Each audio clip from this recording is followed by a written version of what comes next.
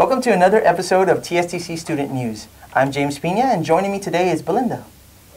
It's been a busy couple of weeks so far, and we're not done yet. This week, TSTC students will be voting in our new student government officers. They've been busy campaigning to attract your attention, so don't let them down. Come out and vote.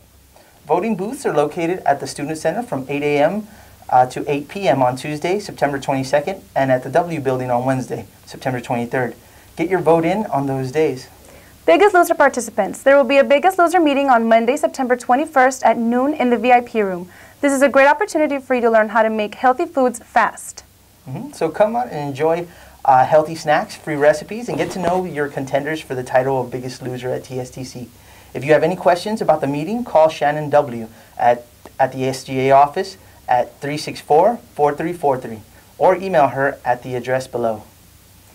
Fanatics members, there will be a meeting on Monday at noon at the Wellness and Sports Center. If you're interested in becoming a member of the Fanatics, don't be shy. Show up and they will welcome you into their club.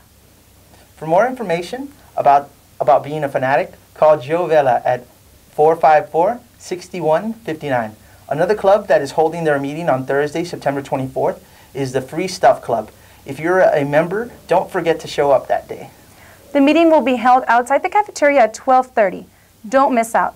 Also, we've got Senator Eddie Lucio coming in on Wednesday, September the 23rd. He'll be giving his State of the District address, and all students are invited. This event will be held at the Cultural Arts Center at 3 p.m. Student volunteers are also needed for this great event.